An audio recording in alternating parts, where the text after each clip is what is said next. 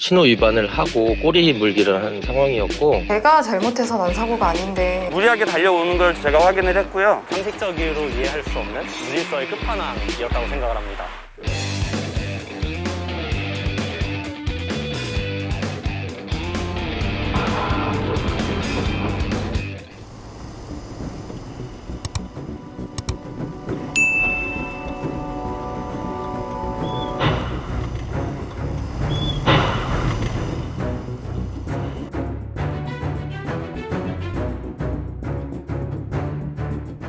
상대방이 너무 뒤늦게 출발을 했어요. 그래서 저는 당연히 그리고 택시가 움직이니까 이제 안 오는구나 싶어서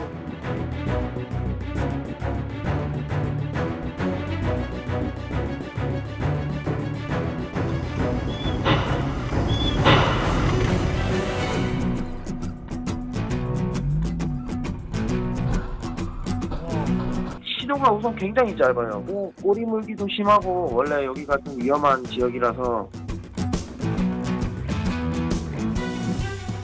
차량이 마지막까지 지나가고 나서 서서히 출발을 했죠.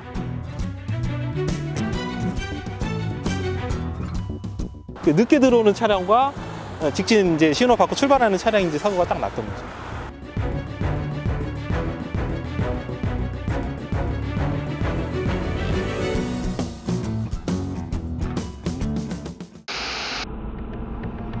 대형 화물차가 신호 위반을 하고 꼬리 물기를 한 상황이었고 막혀 있기 때문에 이제 우회해서 진행을 하는 상황이었어요.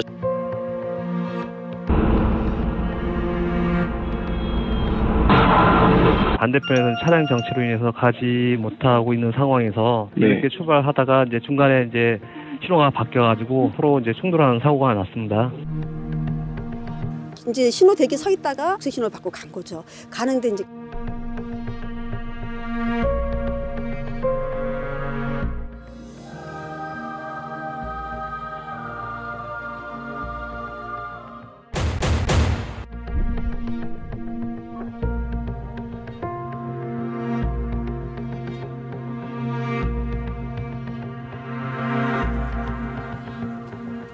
도로교통법에서는 이미 전방에 교차로 내에 정차가 돼 있는 상태라면 교차로에 진입을 하지 않도록 금지를 시키고 있습니다. 본인의 신호가 떨어졌다고 하더라도 교차로에 막힌다면 진입을 하지 마시고 안전하게 다음 신호에 진행하시는 것이 바람직합니다.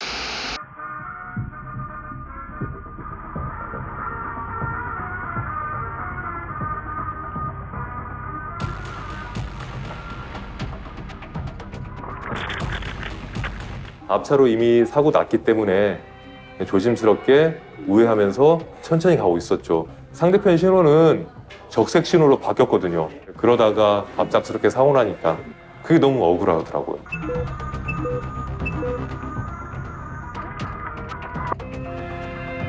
며칠 뒤에 경찰관께서 어, 제가 가해자라고 하시더라고요. 정지선을 딱 통과할 때 파란 불이에요.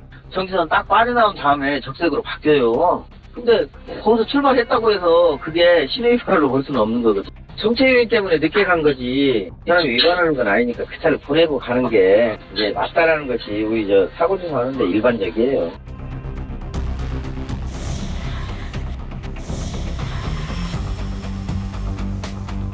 정말 억울한 게 왜 제가 가해자가 됐는지 그건 다시 한번 되묻고 싶거든요.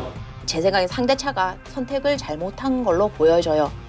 이 제보자 입장에서는 자신의 신호가 바뀌었다는 것을 보고 서행해서 출발을 했고 상대 차량은 분명히 앞에 차고차 때문에 시야가 가린다는 것을 알고 있으면서도 불구하고 자기는 그냥 주행했기 때문에 그런 과실들을 생각해서 이 상대 차에게 80%의 과실을 묻고 싶네요. 그 제보자 차량이 잘못한 근거가 25조 제5항을 근거로 교통을 방해할 염려가 있을 경우에는 들어가지 마라. 근데 넌 들어갔으니까 잘못을 했다라는 건데 사실 그렇게 치면 상대방 차량도 똑같습니다.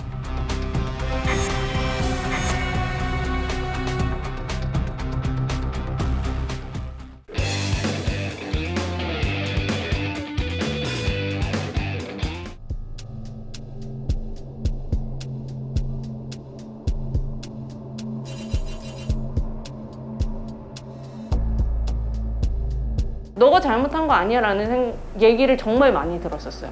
세대가 동시에 너무 당당하게 와버리니까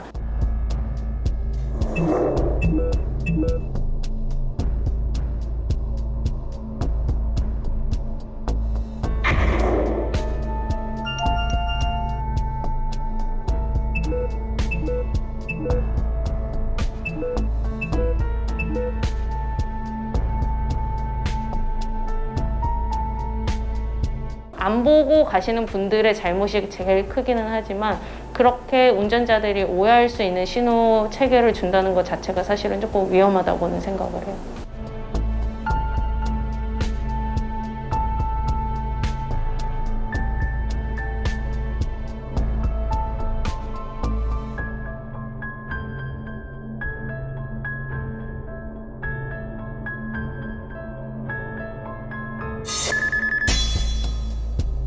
나중에 알고 보니까 거기 교차로고 정지선은 없더라고요. 신호가 그냥 빨간불 들어와 있다는 거 신호로만 생각하고 선 거, 쓴 거거든요.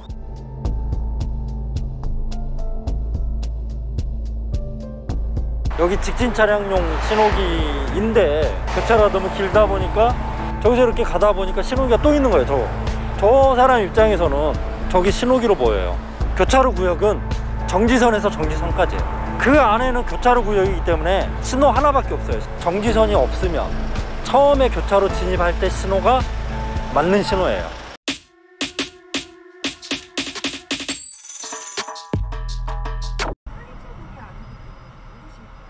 그때는 좌회전 신호였죠. 이제 신호가 걸려서 서 있는데 정차 중인데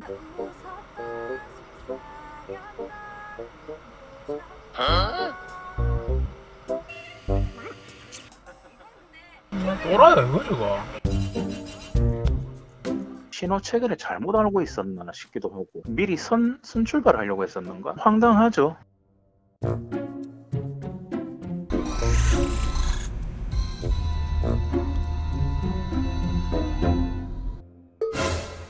멍청한 놈 저거 바로 옆에 경찰차가 있음에도 불구하고 어 저걸 못 볼 리가 없을 것 같은데 그냥 지나가서 되게 황당했어요. 잡으러 가는 거야 저거 신호 대기하고 지나가니까 앞쪽에서 경찰에게 잡혀가지고 과태료 처분 받고 있는 것 같더라고요. 진짜 허탈하겠다. 바로 옆에 경찰차 있는 것도 몰랐냐?